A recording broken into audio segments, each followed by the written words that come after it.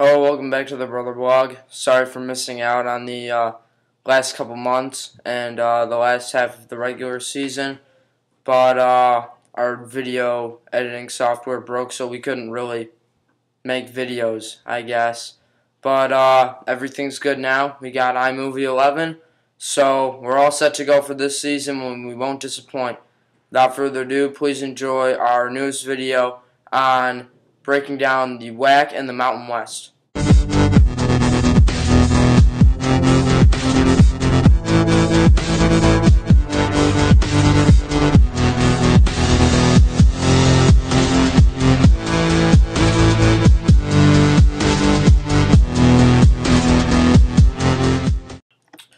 Well, I mean, there's not much to say about the WAC to the average college football guru, but I'm going to be here today to tell you guys a little bit about the WAC situation and how Hawaii could somehow end up in the BCS mix. Also in the Mountain West, we all know that Boise State has made their move on trying to get into, I guess, a better situation in the BCS. And TCU is trying to get out, but they aren't out yet, and they will have to face Boise State this season, so the battle of the non AQs should be a good one. I'm going to start out with the Mountain West, which is obviously the conference that most people look at when they see, hear non AQ. I mean, TCU, the last two years has made it to the BCS. Last year, upsetting Wisconsin in the Rose Bowl. That was a great game. And, uh, you know, I'll be honest, I did not expect that. I thought that Wisconsin would come out and beat them. As you all know, I'm not really a big TCU fan, but this year I see potential in them, and I see that they could make a dash added. I don't think a national title though, and I will explain. Let's look at the pros of TCU first. Their running duo comes back, Ed Wesley and Matthew Tucker each return, and I mean the two of them put together, you just can't stop them. The running game has been good there forever. Andy Dalton did leave, and uh, he's going to be tough to replace. But I think that those two can carry the boatload for the offense. I mean, 1,078 yards for Ed Wesley, 709 for Matthew Tucker, and a combined 18 touchdowns between the two. So, you know, the offense, I don't see that being much of a problem. And I think that Gary Patterson always finds a way to build a real strong defense. You look at TCU's program over the last couple of years, even when they didn't make it to the BCS, they still had a very solid defense. I think they're more of a defensive based system, not so much thinking just put up points on the board. Like you know teams like the Hawaii we saw in 2005 I think that was maybe 2006 I'm not sure. But uh, you look back to some of those other teams and they aren't as sustainable I guess would be the term. They can't go that whole season winning games because the defense is really the thing you have to rely on when you're going through a season like that.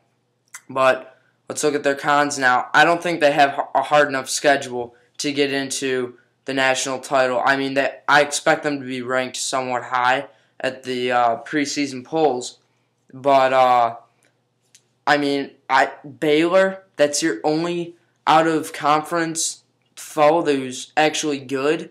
I mean, Baylor isn't even that good. I mean, Robert Griffin III. I got respect for him, but everybody else on Baylor, you know, I can't see it happening that TCU can get into the big national title game with that type of schedule strength. And, you know, I don't know if this is a pro or a con. Go sort of either way, but Boise State's in their conference now, so they're going to have to compete with Boise State. And uh, without further ado, let's move on to Boise State. The pros for Boise State is Kellen Moore does return, and uh, he he was a big factor, obviously, in last season and the season before when they won the Fiesta Bowl. So it would not surprise me one bit if they went on to the BCS. Seven starters on offense return and seven starters on defense return. And Chris Petersen says that this defense could be the best defense Boise State has ever seen, which is a very strong statement because last season I believe they were second in points allowed. And I mean, when you're giving up 12 points a game or 10 points a game, you know, you aren't going to lose unless your offense isn't producing them. With a guy like Kellen Moore underneath the center, you're going to win games if your defense can hold up. And I mean, now they got a somewhat stronger schedule. They play Georgia at the beginning of the season, and Georgia isn't, you know, some big school, but they are in the SEC. So, you know, and Brigham Young, we don't know what they're going to do. I mean, they are independent, but I just I don't have faith in them. But uh they now have to actually face some better teams in their conference. You look back at Boise State in the last few years and uh you know, they win those first two or three games and they just coast through the rest of the year. And, uh, you know, it's kind of sad to see that that's the team that gets to play in a BCS game over, you know, a Big Ten team who lost two games because they actually have to play every single week. And, I mean, that's really my only standpoint why the BCS has an argument on these non AQs not going in. But, um, I think that the Boise State TCU winner should get a bid in the BCS dance. And uh, I'm going to break down that game for you right now. A couple things I looked back on the TCU season is they did go undefeated, but they did struggle against San Diego State. That was a great game. And uh, it was the closest game. Most points put up against TCU was 35, and it was them. So I've come to the conclusion that TCU struggles against the pass over a long period of time. Vincent Brown, wide receiver for San Diego State last season, tore them apart. And uh, if Boise State can find a receiver who can play like Titus Young did or Austin Pettis did, then I think that this game could go to Boise State. But then you go to Boise State, and Boise State can struggle against the run if it's thrown at them over long periods of time. You look at Nevada's offense in that game, and Nevada was trying to run the football. You could tell in the beginning of the game they just could not get it going.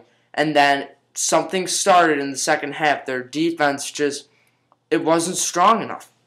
I mean, this is the thing why I don't think Boise State is going to beat TCU. TCU, like I said, sustainable. They have to be able to play constantly throughout the season in every single game if they should deserve a spot in the national championship.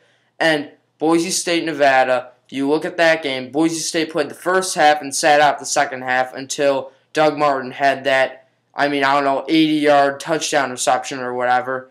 God, I mean, I was crying at that point. It was just like, you know, I was watching that game and it was crazy. But, uh, you know, Boise State, once they get into that second half, they aren't used to still having to play at that point in the season. I don't think they're going to be mentally prepared, you know, that quick. I, I don't know. I think that the TCU game, they should be able to stay more sustainable in the third quarter. But come fourth quarter, that team's going to be tired, and TCU just does not quit.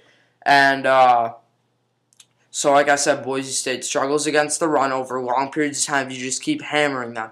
And then I think TCU is going to have more to play for in this game. TCU's last season in the Mountain West. This is going to be pretty much the Mountain West title game, I think we can all say.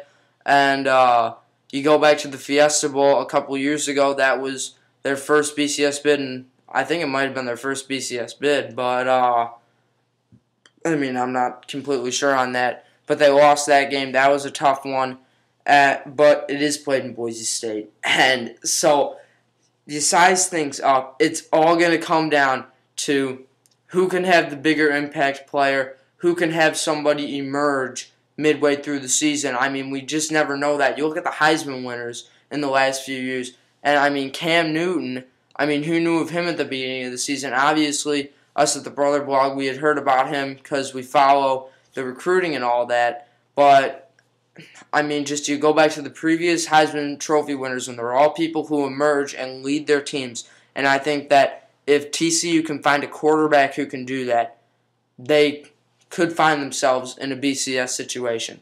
Now, moving on to the WAC, obviously not as competitive as the Mountain West, but Hawaii and Nevada will be competing for the Western Athletic Conference title this season, and I don't think Nevada has any shot at a BCS bid. I'm sorry, I'm you know big Nevada fan, but uh, when I saw the schedules come out, they play Oregon in that first game, and I just I can't see it. You know, I can't see it in a million years. Tyler Lantrip, first game really as the starter, as the leader of the team, and you know, to play against Oregon, who almost won the national title last season.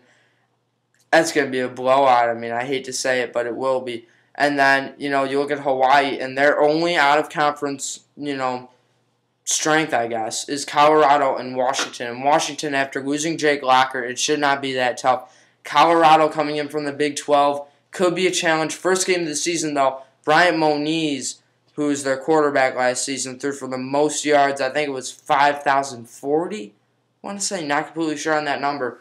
But uh, he comes back for Hawaii, and he's really good. I think that he should be able to tear up Colorado's defense and also Washington's defense and get Hawaii some national spotlight going. But uh, you know, Hawaii and Nevada, I think would be the biggest game for Hawaii. And breaking down that game, you look at the weapons on each side. Neither of them really have a really solid defense. Hawaii's never really been a defensive-based team. Nevada had Dontay Moch last season, who was a defensive end, outside linebacker type player, but he's out to the NFL draft now.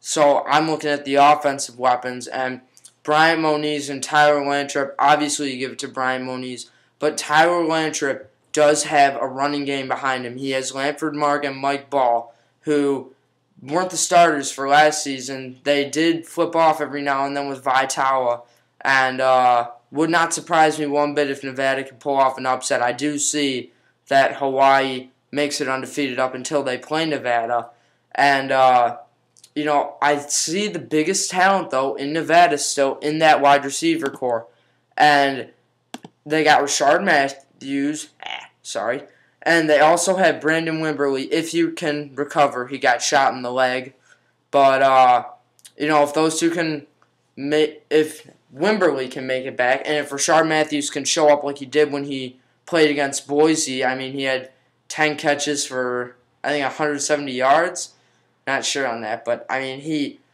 he had a heck of a game. I just remember that, and he had that rushing touchdown on the wide receiver reverse, which I mean had me jumping off the couch going crazy. But uh, you know, I think that if Nevada's big players can show up to the game like they did against Boise State, and I think that if they had that emotion, Nevada will have that emotionally charged energy just because first of all, you know, well, for both of them, it's their last really big chance at a WAC title. But, I mean, arguably, Nevada could have made it to the BCS talk if uh, Hawaii had not beaten them last season. So, I mean, when teams, you know, beat other teams, they got that bitter taste in their mouth, you know? And I just don't think that Hawaii would come out of that game but either way, I think that this would be a great game to watch, regardless of whether or not Hawaii is still undefeated or Nevada's, you know, even any good. I think that these two match up pretty well, and it'd be exciting. So uh, those are the Mountain West and Western Athletic Conferences broken down. The two biggest games in those conferences, in my eyes, broken down. And uh, if you have any comments, feedback, feel free to post them. Thanks for watching.